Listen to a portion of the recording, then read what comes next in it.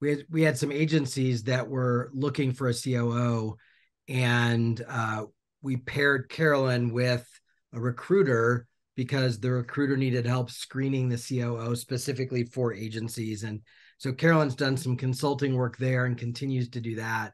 And so when we started talking about the need for agencies to understand what a COO does and sort of the right time to add that role into the shop, uh, it made perfect sense to ask her to do that. And then there was a lot of interest and demand around putting together a peer group specifically for COOs because in most agencies they are the only person in the shop that understands the role and understands what they're doing. And they don't really have a lot of opportunity to talk to other people who do what they do unlike account service people or creative people. Uh, so we decided to launch the virtual peer group which as you guys know uh, will start in november uh, and so carolyn was the logical person to facilitate that group and so uh, if you are interested in that group either now or after the webinar or whenever, you need to shoot me an email. We only have room to take to start two cohorts, and each cohort will have 10 agencies in it. So um, the first one's already almost full. So if you're interested, uh, let me know, and then we will we'll get back to you. So all right, uh, send me an email, uh, Melissa, if you will, uh, Drew at agencymanagementinstitute.com, so I can we can chat back and forth and we can get you on the list. Okay. All right, Carolyn, I'm going to hush and let you drive the ship. All yours.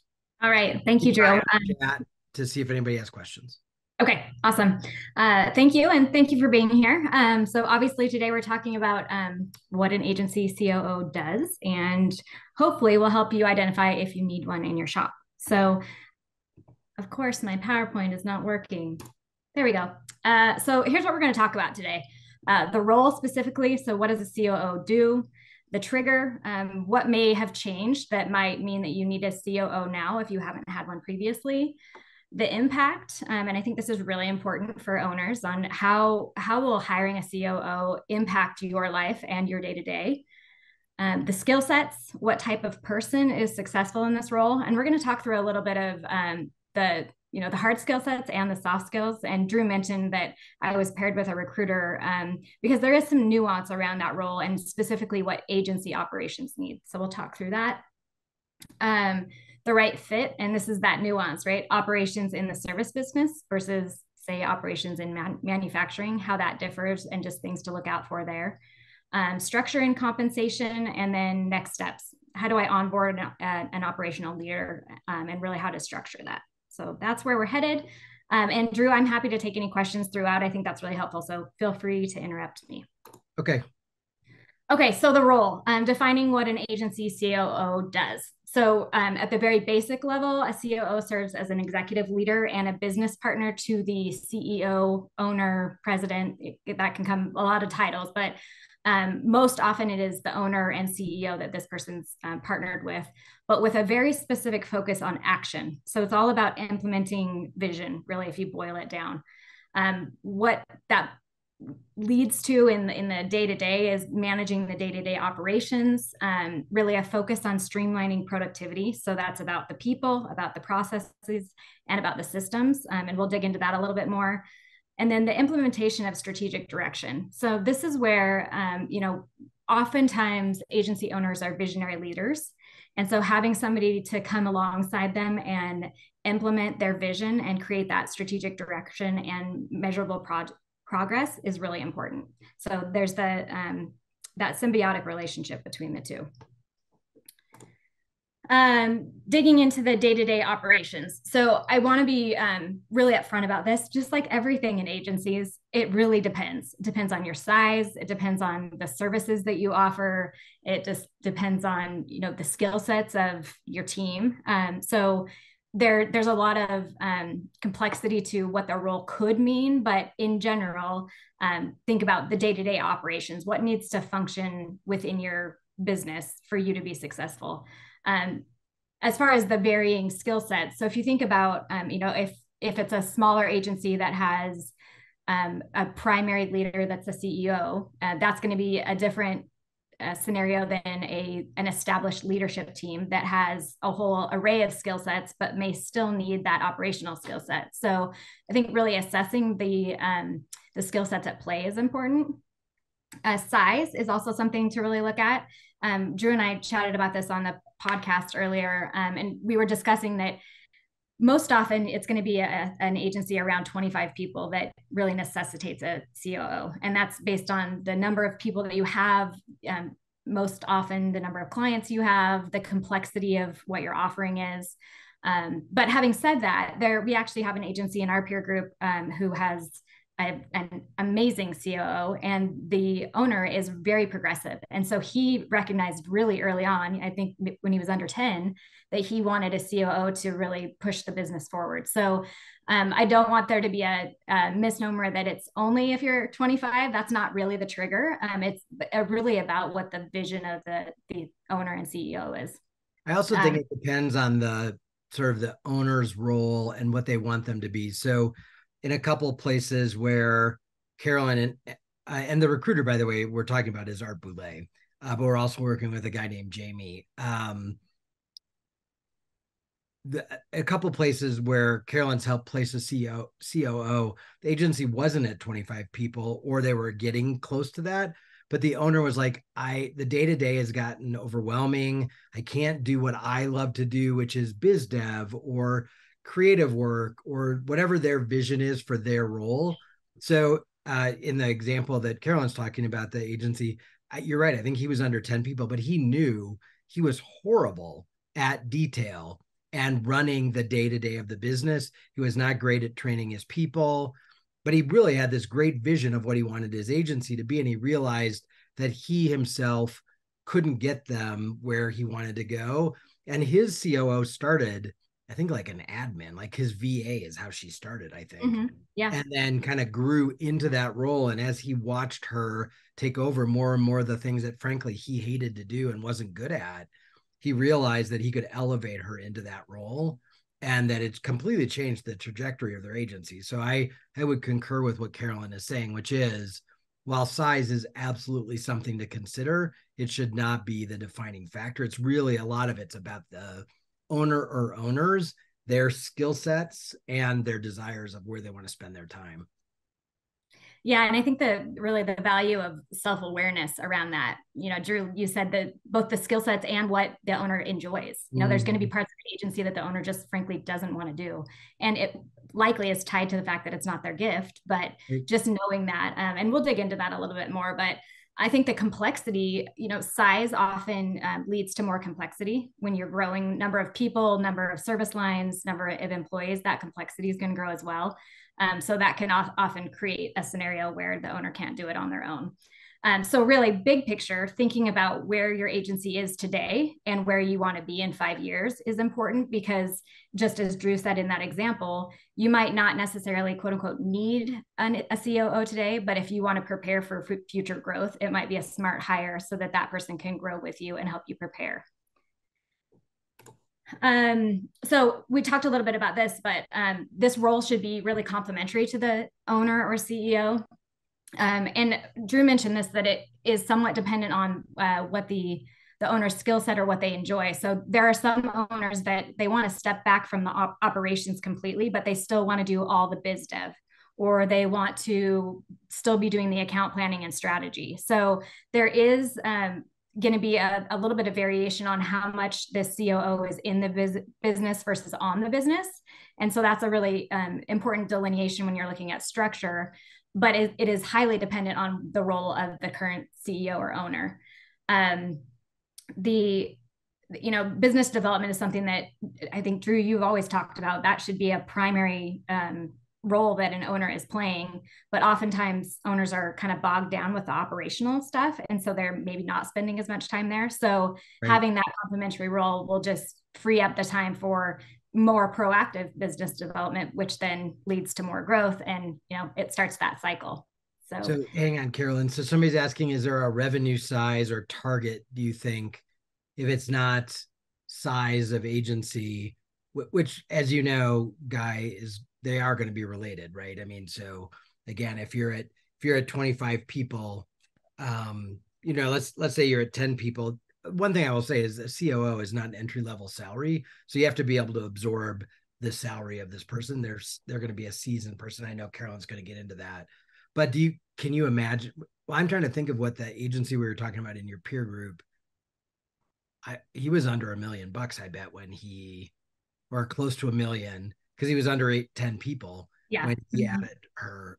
Um so I I I would say there isn't. It's really more about where do you want to spend your payroll dollars. Carolyn, what would you say?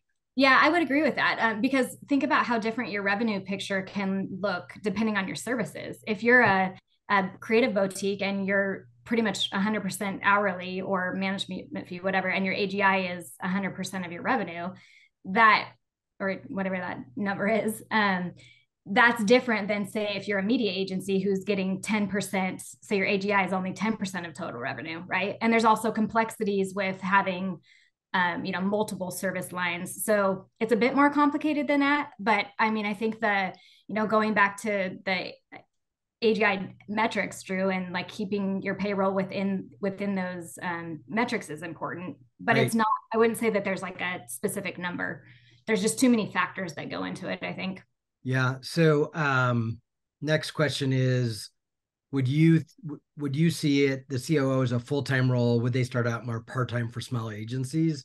This would be hard to do as a part-time person, I would think. Yeah, um, I would tend to agree. Um, unless you had the awareness and somebody that was willing to do it part-time. Um, because I will say that if you're if you're building the role um, to prepare for growth, there might be the ability to get the job done in a part-time situation.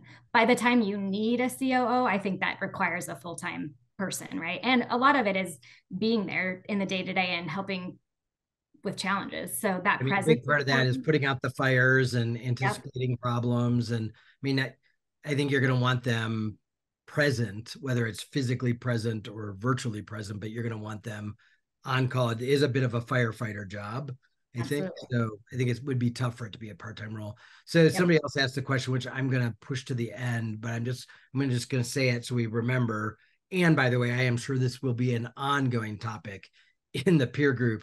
How do you get your owner or CEO out of the day-to-day little things? So I'm going to put a pin in that. We'll talk about it at the end, but I'm sure that if I were going to if I were going to guess what a common theme of the peer group would be, it would be how do I get the owner to let go enough, even though they want the COO to do the work, letting go and wanting it to be done by someone else are sometimes two separate things. So, mm-hmm. so I promise, Christine, we will address that, but uh, I'm just going to hold it till the end.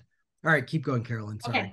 Uh, so the other thing I just wanted to mention, so in terms of being in the business or on the business, so there's two options when you're bringing somebody into the COO role. Well, there are, there are more than two, but one option is that you find somebody that is already with your agency, that has kind of come up through the agency, that has the skill set, and you develop them into an operational re- leader. So that could be your director of client services that then you promote to a director of operations and then a VP of operations and then COO. Um, that could be a lot of different things. But if you do that, it's highly likely that they are going to be more involved in the business in their COO role than if you bring somebody in from the outside. So, for instance, in my scenario, I started in the business. I came up through the business and was there. I've been there for almost 19 years and have done multiple jobs. So, I, in my role, I am still in the business reviewing scopes of work and working on strategy and planning and working day to day with our client services team I would say I'm much more hands on than I would be if I hadn't come up through that. Um, so just a difference in in the role, and again, that goes to structure. Yeah, we had we had another AMI agency hire a COO specifically to run the business of the business. Now they had had other agency experience and they were in a leadership role there, but they didn't grow up in their in that specific agency like Carolyn did but that wasn't the that wasn't the role that they wanted this person to play. They didn't want them arms deep still in account service and other things. They wanted them really to operationalize the business completely and and focus uh, there and and in the human in the people management. So again it depends on what your agency needs Right, absolutely. Structure, size, I mean, that, that all goes back to it. Um, but I would say in that case, Drew, this streamlining productivity is, is exactly what that person was focused on, right? Yep. They're running business, they're not in the actual work. Um, yep. So, resource management, which interestingly in this world is primarily human centered, right? It's your resources and your greatest asset are your people. So that is a huge part of the COO's role is is managing the people as a resource and as an as- asset. Um, managing the tech stack, just the awareness of what are all the tools that we use, what do we need, are they complementary, are we duplicating, are we paying too much, are we, you know, is there a better system, right? So it's a lot of analysis and really finding the best business solutions to help the agency be the most efficient. Um, which often leads to a gap analysis, right? This is, and this can happen if there's really rapid growth. This will often happen that um, things happen really quickly and we realize we don't have a system or a process in place to handle this. And so that's where a would come in and help develop that and implement. Um, process mapping, again, that's going to be a derivative of that gap analysis. So um, really keeping the business functioning um, and the the idea that you know in manufacturing operations is about the nuts and bolts and is the assembly line working right? And we're not striker. We're not figuring out whether we have enough material raw materials to build the thing.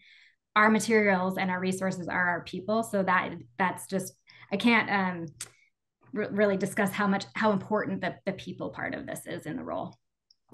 So you guys have heard us talk about that at certain sizes the weight of the agency you are today cannot the old systems and processes can't bear the weight of the agency you've grown into being. This is often a pressure point that triggers for agencies a desire to hire a COO is and and that breaking point is 12 or 15 people again at about 25 to 30 and then again at about 50 and so at those places oftentimes we'll have an owner who realizes they're not they just are not equipped to sort of manage the growth and do their job as well whatever that may be for them. So a lot of times those sizes are indicators of the hunger and need for a COO. Yes, absolutely. And it changes, right? Like you said, the scale, every chapter has a different need. So it's important that you have somebody that's staying on top of that. Um, strategic direction and implementation. So this is really like coming alongside the owner or CEO and, and taking the ideas or the vision and, and turning them into action. Um, there's often an agency financial management role, um, although I will say that there are a lot of owners that aren't ready to turn that over to their COO, and that is fine also. But regardless of whether they're going to run financials, almost every decision that the COO is going to make is going to have some financial impact. So it's important that that is a skill set that they have and that they feel comfortable discussing and can be strategic about the finances and really the ability to think like an owner. You want somebody that is business minded and that is going to make good decisions on your behalf for, I mean, at the end of the day, for the greatest growth and the most profit for the benefit of everyone. Carolyn, what what level of financial visibility do you does a COO have to have it? Even if you're not going to let them see everything, I'm assuming they have to have some visibility, right? Yeah. Um, well, I think Drew, it depends on you know, for instance, even the metrics. Like I would assume that at a COO level, they're going to be seeing payroll and they're going to be seeing all client billing, no question, because they have to be able to look at utilization and are we over servicing or under servicing? Are our scopes accurate? Like client billing to me is a no brainer. They, they should be able to see everything about profitability there. Um, and then the, the hourly, you know, depending on how you bill, if you're working off of actually billing hourly, then that, and that's tied to salaries, which I would imagine most agencies are not. But if they are, then then salaries are going to be more important.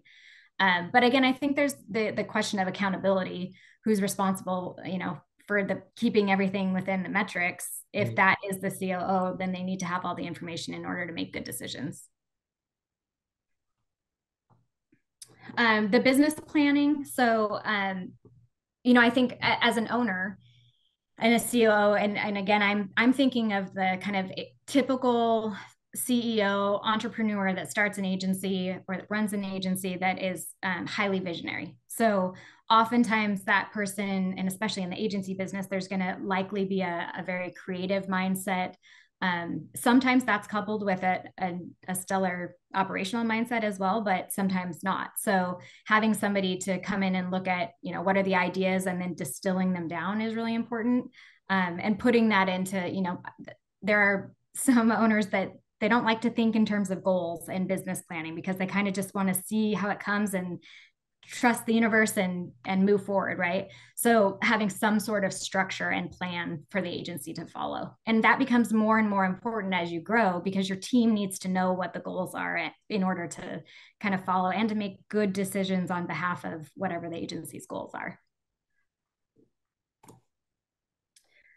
Um more here. So operational strategy and structure. This is um, can be so boring, right? Andrew, we've talked about this is not the sexy side of the agency. This right. isn't the fun, creative side, but um, the operational strategy. You know, we're talking about org charts and reporting structure, and you know, all of those decisions. Who reports to who, and what is the accountability structure? Um, the agency approach, and I, I, I purposely left that broad because the agency has to have a, an approach and a stance on pretty much everything. And oftentimes you won't know that you need that until somebody comes and asks you, and your feet are to the fire, and you have to create one, right? So there has to be somebody that can can really take the lead on creating that.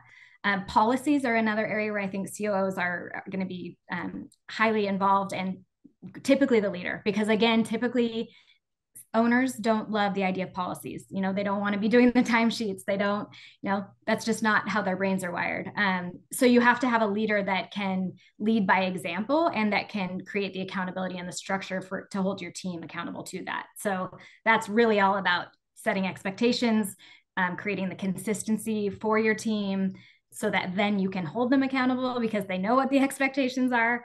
And ultimately the, at the end of the day the whole goal there is to reduce risk and improve import, uh, performance. I, I will say though i mean we do joke that this isn't the sexy stuff but honestly to a good coo this is the sexy stuff right? It's for somebody who's operationally minded and and systems and process minded you know this is one of the places where danielle and i differ in our business is she's much more about system and process and rules and i'm like mm, I don't really like any of that. So again, we we model very much like uh, two business owners that bring different skills, just like you and and your partner do, Carolyn. I mean, he's much more visionary, and you know, you're much more like nuts and bolts. Let's get it done. Let's get it done on time. Let's make money. And I, I think all of you can see the value of having both of those mindsets inside the same business at a C level, for sure. Yeah absolutely. Yeah that the complementary skill sets are really important. Um, so this is the human side right? So human resources um, in our agency we actually have so partly because of my role still being in the business but also just partly because of the need um, we have a director of operations who fun- she manages really all the human resources. So employee benefits um, recruitment, retention. She's managing the whole process of onboarding and offboarding, all of those things. And if you're if you are growing really rapidly, that's probably something you're aware takes a lot of time. So if there isn't somebody in an operational role that's managing that on behalf of the owner, um, I, that's definitely another trigger, right? That that rapid growth performance management. Again this goes back to setting expectations and then the ability to to hold the team accountable to those expectations. And the coo often will um, directly manage the leadership team. So what that does is it creates um, takes another thing off of the plate of the owner um, of not having direct report reports um, which again that's a personal decision often on whether they want to be the you know direct manager. But i'm seeing more and more that that owners are ready to take a step back and it's a lot to manage the leadership team. Like it's often it's time consuming and um, sometimes having that buffer in between can be really helpful.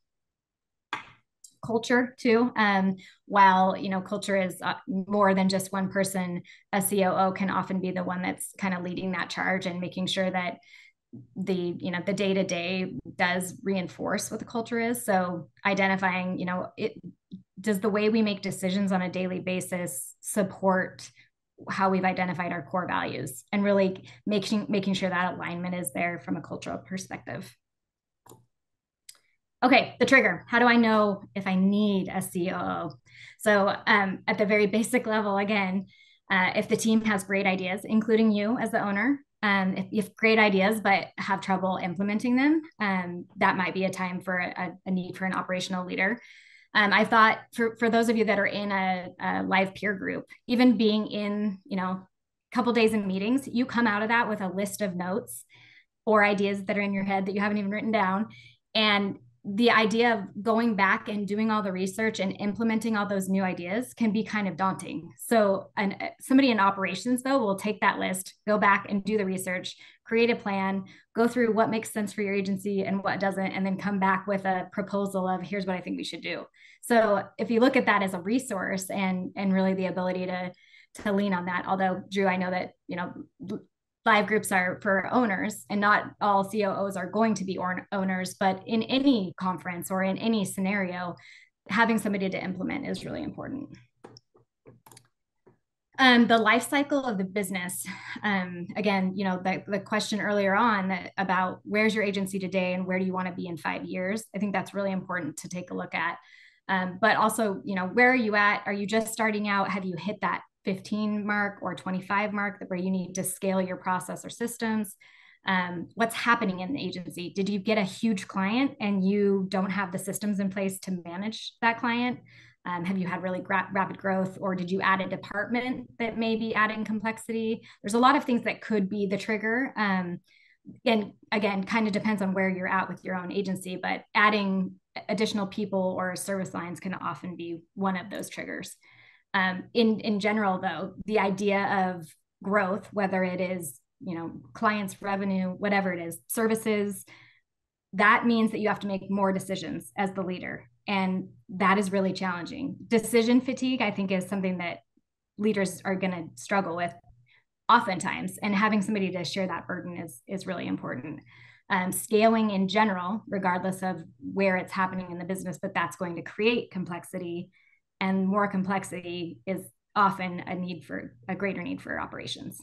Yeah, so David makes the point. He says, "Here's here was his when. If your CEO, me, is ready to quit the business after 20 years because they're overwhelmed with agency work in addition to operational duties, and which meant he did he struggled to do both of them well. Yeah, I think David, that's often the sign is like I just can't do all of this anymore. I can't bear the weight of this. But I do think one of the underemphasized parts of having a great COO is having that thinking partner and having somebody to sort of talk through the decisions because as the agency gets big, bigger and more complicated and honestly with covid and virtual work and all the other things that we're dealing with today forget size it's just more complicated. So it's it is nice to have someone else who is more operationally minded and system and process minded to talk through what's going on in the agency and really help you come to better decisions than you might have done by yourself.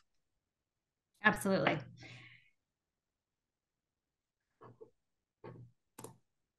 All right. So um, areas to assess if you're, you know, still thinking about this of do I have, let's say I'm, I'm feeling some of that tension or some of that pressure, um, looking at what the structure of the agency is currently and really assessing your own skill sets and where you want to be and also the leadership team skill sets. So I think, you know, Drew, Drew, you say all the time, what got you here may not be enough to get you to the next level. Right. And that's really what this is about. You know, somebody can run an, an agency for 20 years and then at some point it becomes too much for whatever reason. Uh, and that's okay. And sometimes it's just a matter of that you know, individuals ready to take a step back because they've been doing it for a long time and it's, it's heavy. Right. Um, so really looking at like the structure of the agency too can help make that decision on do we have the people here and do we need to restructure or do we need to add the role? Um, the impact and you just mentioned this um, but those complementary styles the visionary and operator together um, really that the differing perspectives leads to a stronger approach because you're going to have a lot of dialogue and there's going to be you know discussion about the potential pitfalls of an idea um, you know, just kind of the checks and balances to a certain extent, um, but also just the decision making support that not every single decision has to be made by one person. And I, I think that I, I, couldn't stress that enough that the number of decisions that agency owners have to make every single day can be a huge burden. So support. I, I also think one of the yin and yangs that happens with a owner, CEO, and a COO is as a visionary, um, and I will speak for myself, we tend to go, we should do this. I'm going to do it today. right and and we're like onto it right away and i think one of the values of a coo or someone who is minded that way is that they slow the visionary down to sort of look at okay you're about to leap not only is there not a not not only is there not water in that pool underneath you but that's not that's not a pool that's a cavern and you're going to drop 50 feet and sort of slow you down and help you think about some of those things so i think that's probably one of the also one of the things that a ceo ceo owner visionary has to learn is how to take into account the brakes that sometimes the COO puts on for very good reasons because we're not used to having them when we've been making decisions by ourselves, which I believe some of us would agree sometimes has gotten us into trouble. Yeah. And the brakes, I mean, I, this goes back to that question that you put a pin in, right? How do you, if your owner says they want to be out of the day and day, but they, they can't quite get out, sometimes it's just because they don't like the brakes, right? Like right. they don't want risk management being the leader Eh, you know they want the the big ideas and the visionary mindset to be driving the agency uh, and there's great value in that but there's also great value in risk management because it can save some heartache uh, and the idea that you know the thing that i've learned honestly the hard way for every action there is a reaction. And it's typically something that we don't anticipate right? So we think we have this great idea and it might be just on the staff level that we're going to implement something new and then something else happens that we did not anticipate. So having somebody with that more operational mindset hopefully can can kind of head some of those off and and save some pain. Yep um, so the other thing, and I, have said this a couple times, but as the owner, what do you want your next chapter to look like? Do you are you ready to get out of the weeds? Are you ready to take a, a step back? And Drew, you mentioned this, you know, you know, for the one in our, our peer group that early on decided to have that operational support he had no intention of getting out of the business it's just that he wanted to be stronger and so that was you know a really aspirational move um, and smart move on his behalf but other other owners that are are you know based on where they're at in their own life or how the industry has changed you know there's there's some people that don't love the new the, the way the industry industry has morphed and that's okay too. But just really being honest with yourself about what you want this role to do, if you need it first, and then how you want them to support you, because that will be important to identify for success for both parties. And and and the other thing too is it may be that you can't get to your job. So we had an agency owner that now has a COO, and he was a he's a brilliant salesperson and he really wanted to grow the business but he couldn't get out of his own way to sell enough to have enough time to focus on biz dev because he was quagmired in the operational stuff. On the flip side, we have an agency owner whose agency has grown exponentially in the last two or three years. And for her, it was really about this thing has gotten bigger than any business I've ever worked in before. And I need help running mm-hmm. this bigger organization. And when I say big, there are 25 or 30 people, but it was just more than what she had experienced in her own professional life and she was smart enough to go you know what i i can do this but i'm probably not the best person to do this so we have the bandwidth we have the we have the salary we have the room to bring someone in to really operationalize the work. And in their case they they were really struggling with just how to get work to flow through the business. It was they were starting to drop balls and things like that. And so she really needed somebody who was super process oriented and and that was what she went out and found.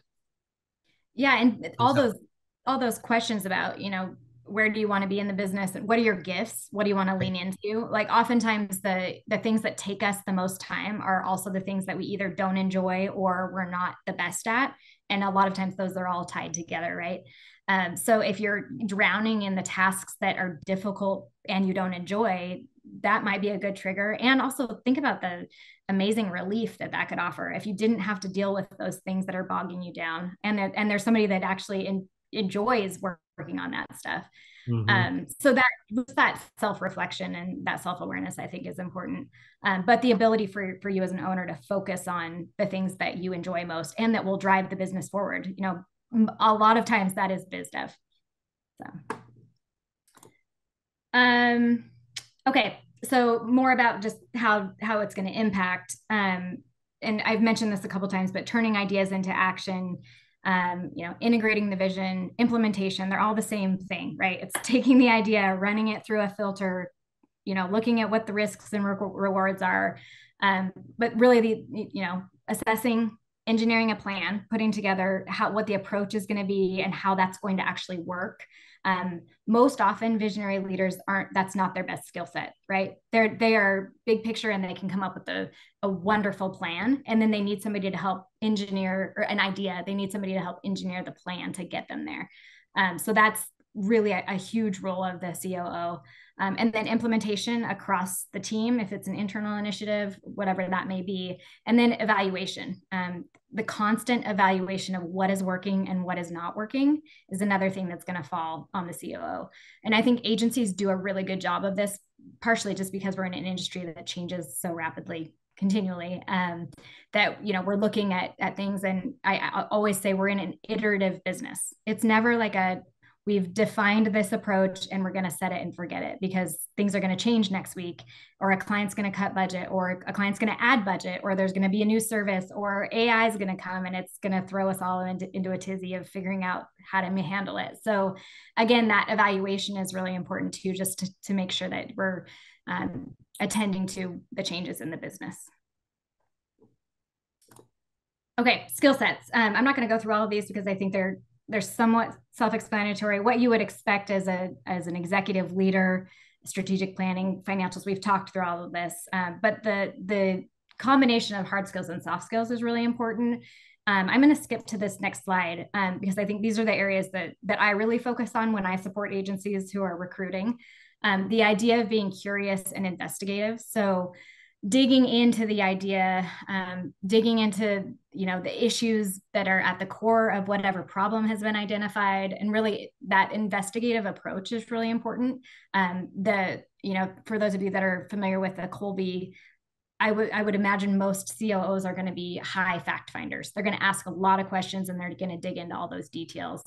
Um, solution focused, which by nature means that they're also also identifying problems but they aren't focusing on the problem they're identifying it and then focusing on the solution which is again really that focus on the follow through and implementing versus kind of getting stuck in that problem identification phase.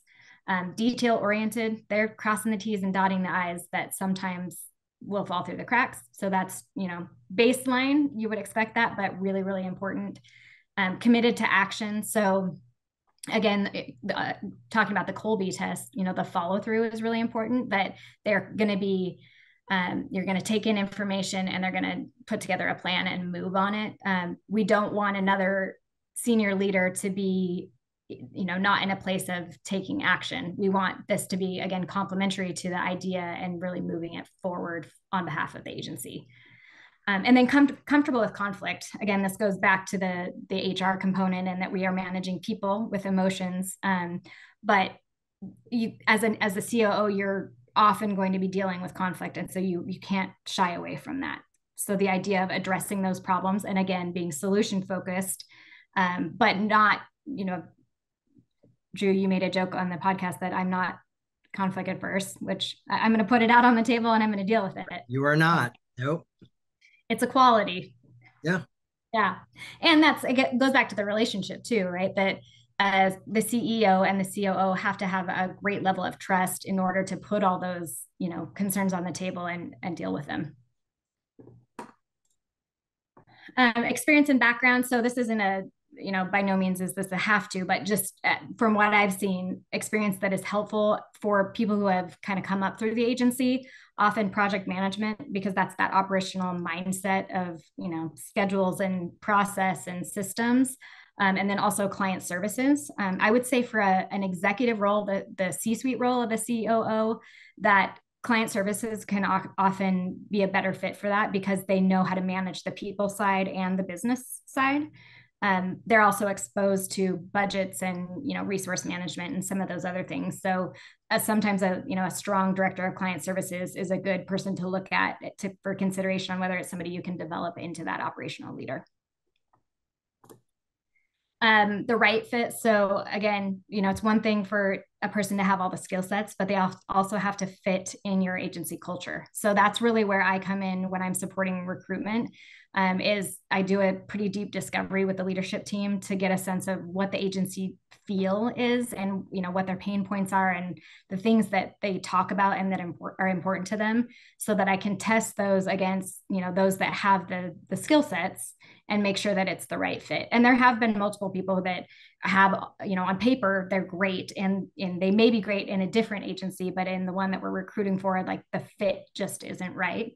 Um, but in general, the you know the person that natural team leader. If you think about group projects, who's the person that steps up and takes the lead, that wrangles the project, um, and again, the person that takes the idea, makes plan, and makes it happen um, the kicker. So this, and I get into a little bit the the different levels, but um, leadership. So if you're going to have a C, specifically if you're going to have a C-suite level, a COO versus like a director of operations, it has to be the kind of person that others want to follow. So leadership by example is going to be really important, but also just that EQ um, and and the ability to to have the human connection and to manage from that um, space collaborative too you know the, the whole idea that competition happens at the bottom and collaboration happens at the top.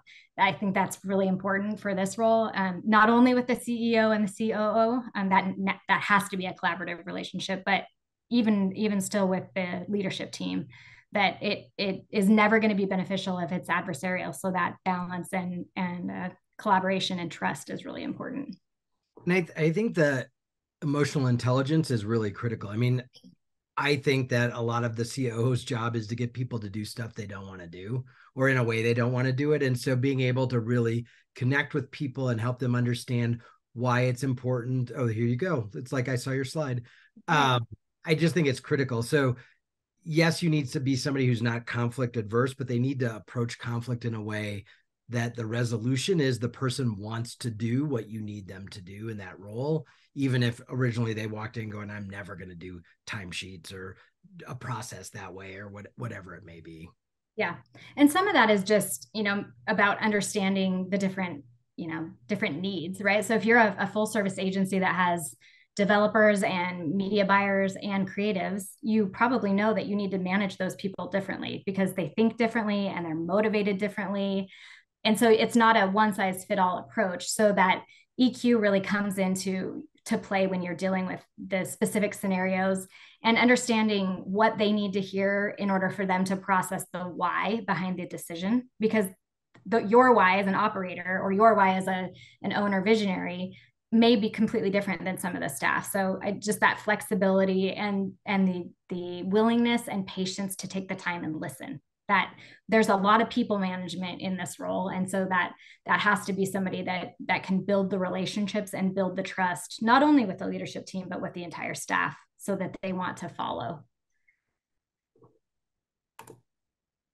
Um, structure and compensation. So i mentioned this and i again it goes back to the the size of your agency and the skill sets at play whether you have a, an established leader leadership team um, whether you're you know what your skill sets are as an owner but there could be anything from a director of operations to a VP of operations to a chief operating officer.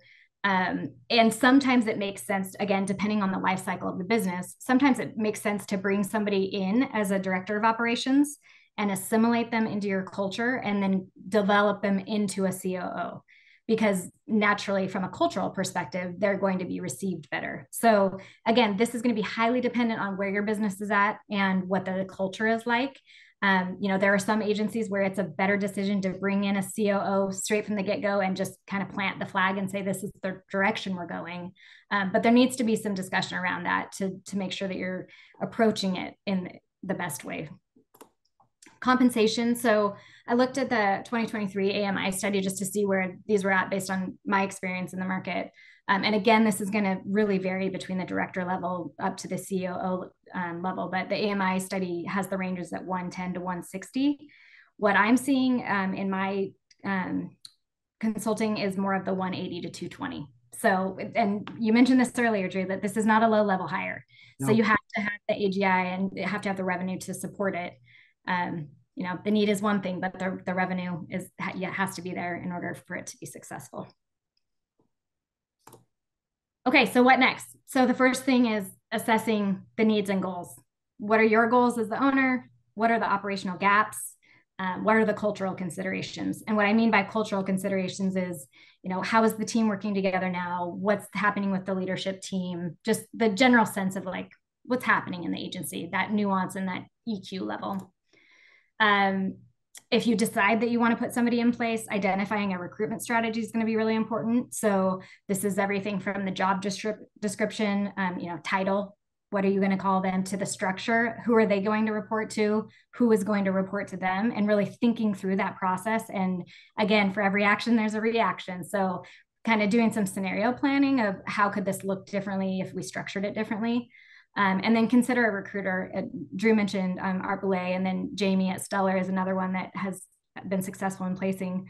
Um, but I think that if you're not going to bring somebody up from within, it's not like there's a bunch of COOs, agency COOs sitting around, right, that are going to see your ad and apply on their own. So it probably will require that you have a recruiter that's that is proactively searching on your behalf. Um, but I do think it's good to first assess whether there's the opportunity to look at somebody internally and and uh, develop them. Because because they already know your culture. And most oftentimes if it's a person that you respect and the team respects that's going to be a, a, a, natural transition. So there's a, a lot of great opportunity there. And with coaching and development that that's been very successful for a lot of agencies um, and then an implementation plan. So again, this is where I support agencies on what does it look like, right? Okay, we have this idea of we want to bring in a COO and this is what we want to call them and how we want to structure it and how the org chart's going to look. Now what? So thinking about the timing, thinking about what the expectations are, both both for this role, for you as the owner, and for the leadership team specifically if you have one in place that is going to report to them like what are the impacts that are going to that happen there? And what is the communication that needs to happen ahead of time so that you have everybody on board going in? So uh, there is a need for a communication strategy you know internal more often than external i would say on again making sure that everybody under, understands the why behind the decision and creating a culture where they see the the value in it as much as you do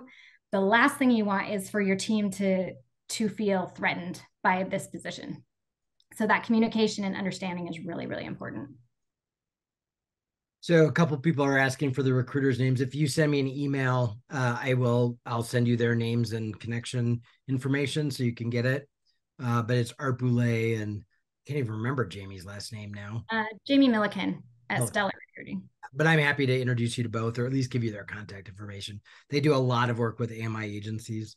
Uh, question is uh, what if the CEO doesn't have time to develop them, to groom them?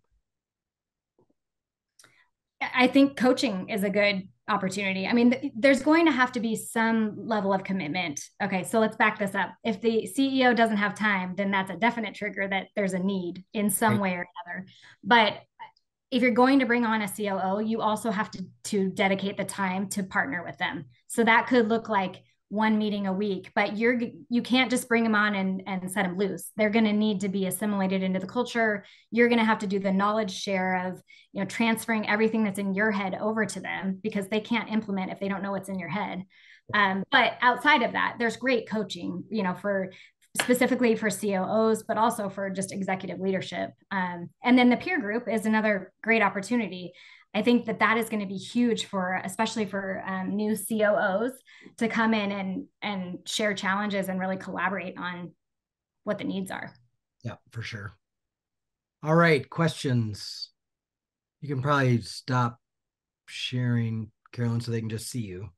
Okay, I will do that. Oh, we talked about this. You'll talk oh, yeah. So I, will I'll give you. Uh, you guys will have the deck um, when when I send out the recording. So just so everybody knows, the we're going to start the peer groups in November. They're 90 minutes once a month, um, and then, like I said, we have room to start two in 23, and then we'll we'll probably get through the first quarter of 24 before we even think about starting a third one. So if you have interest, uh, getting to me sooner rather than later was is probably a good plan. So, um, uh, do you guys use EOS? You don't, do you, Carolyn? We don't. No, but by nature, I think similar. that way. Yeah. Yeah. Yeah. So. Yeah. I mean, Carol, we facilitate traction for agencies, and um, Carolyn thinks like an integrator. Absolutely. I mean, she that's that's her whole mindset. So, yep. Uh, yeah. if you want to know about coaching, Carolyn does some. We do some. So happy to help you with with that as well. So, sorry, I'm watching the questions. Yeah. No good. You're good. Other questions? Melissa, you said you're an eight. Are you a um, a visionary or an integrator? oh, I'm absolutely, absolutely an integrator. I'm eight, seven, four, two. I don't even remember the other number. It's so low. okay. Yeah. And I'm an eight, eight, two, two. So mm-hmm. fact finder. Um, We're talking finder. Enneagram folks, if you're not recognizing the numbers. Uh, well, actually, um, this is Kolbe. Kolbe. Oh, so Kolbe, that's the new okay. Kolbe thing. Yeah. But ironically, Kolbe. often, I, and here's another one Enneagram eights are often very good operators as well. Yeah, for sure. Yeah. Uh, so let's talk a little bit about if the CEO doesn't want to let go, right? So yeah, I think a VP of ops that they don't have to be specific. So for the peer groups, someone said, "Is it good for a VP of ops or director of ops?" Yes, it's one of those ops titles, right? Director of ops, VP of ops, COO, someone who is evolving into a COO role or whose responsibilities sort of fluctuate in that range, but maybe they don't have the title yet. So what are we doing with CEOs who don't want to let go? They know they need that the talent, but they don't want to they don't want to release control. That seems like a 12 hour conversation. It does. Yeah. Some counseling.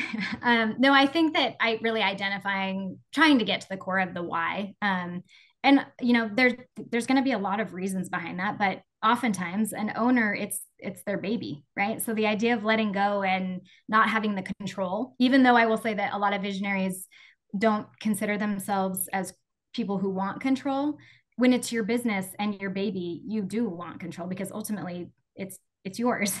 Um, so there has to be again that trust established really early on, um, and then just the commitment and the reminder of why you have an operator. Um, and that I would say that the coaching that Drew does and, and Danielle sometimes that's what it comes back to is just the you know the reminder of why you're here and why you trusted to bring somebody in. And it, it is going to be hard. It's it's not an easy thing to let go of that especially if you run it kind of on your own from the get-go. Um, but the the uh, yeah david ask them if they want their life back. Yes. Or, or, or want to save their marriage he said. Or their health or right. their you know if you think about all the stress that is created for um, owners that are kind of running it on their own it's it's huge you know it's stressful so looking at it more as the relief than as uh, you know letting go or losing control i think is important so sometimes it's just about reframing and reminding and honestly this is where sometimes it's more helpful to hire somebody from within and grow them up because the trust is usually already there and it's been earned over time but honestly a lot of agency owners get to a point where they just can't, you know, to David's point, they just can't do it anymore. And whether they can physically do it anymore, they just can't emotionally, mentally do it anymore. And they realize that they they need the relief. But I think the other thing to do is if you're already in the organization and you're vying for that role, I think it's looking for ways to ease the burden and to be a good thought partner and and without necessarily having the role or the responsibility proving yourself and showing them what it feels like to have sort of uh, somebody else in the trenches with them when they've been sort of fighting it themselves is super helpful. Mm-hmm. Melissa, you mentioned the guardrails though, and identifying what makes them most nervous um, and how much they want to be kept in the loop. I do think it's important to to structure the relationship between the CEO and the COO in a way that um, that meets the needs of the CEO. So, like, what level of detail they do they need? about what topics, how often. Um, that's that communication can really head off a lot of issues. So, well, and I think regardless of your role in the agency, if you're in an agency, you know one of the most uncomfortable things is to be out of the loop and to be caught off guard, either by a client or a peer or a, an employee or whatever it is. So I think one of the critical roles for a COO is helping the CEO always feel like they're in the loop whether they're in the day to day or not, right? Mm-hmm. And yes, drawing from account services often, a lot of times a great account person, that's the right path for them. They they are detail oriented, they are agency focused, they've thought about profitability from the very beginning, all of the things you want a COO to think about. There's their mindset is already kind of in that direction the idea too of um, you know identifying somebody who can think like an owner uh, mm-hmm. while that's hard you're not going to be able to just ask somebody straight out and get a good answer but you can identify based on how they make decisions again having somebody that's come up through the agency you will have the history of how they've made decisions but uh, you know being business minded and making good decisions on behalf of the owner you know that's part of melissa you just said again of the the fear of a coo doing something that they don't approve of you know if they know the decision making process and they trust that, then that's one thing. But there also has to be a lot of communication of what level of decision making power does the COO have. That's going to grow over time with more trust, right? Um, but also, you know, if there's, you know, again, going back to the, there's some agent, agency owners that hold on to financials um, for a while because that's that is the the area where there's the most risk, right? In theory, so there's ways to work. Usually, around. the last that's the last wall to fall, right? Yes, Yes, and it may never fall. I mean, depending on how how savvy um, the owner is from a financial perspective, that may be okay too. Right. But the conversation, sorry, it goes back to you know the time that needs to be dedicated to communication between the two parties. That's going to be really important because a CEO, you know, shouldn't be caught off guard. They should either have the full trust, and so they've given the autonomy, or there should be enough communication that there should never be something that catches them off guard. Other questions? Okay, so if you want to get connected to the recruiters, feel free to email me if you want more information about the peer groups um, or you know you want to be in the peer group send me an email i will uh, take this recording and carolyn's deck and get it out sometime next week probably uh, so you guys will see that um, the link will be in the newsletter. Since you didn't sign up for this webinar, I can't email it to all of you. So the link will be in the newsletter and I'll stick it inside the podcast Facebook group if you're a part of that. Um, so know that that's it. And if you don't get it, if you don't see it either place, shoot me an email and I'm happy to share it with you. But give me till the middle of next week to get that done. So, Carolyn, thank you. This has been awesome. Uh, anybody else? Last questions? All right, we're going to let you go. Thank you very much for being here. Thanks, everyone. Have a good weekend.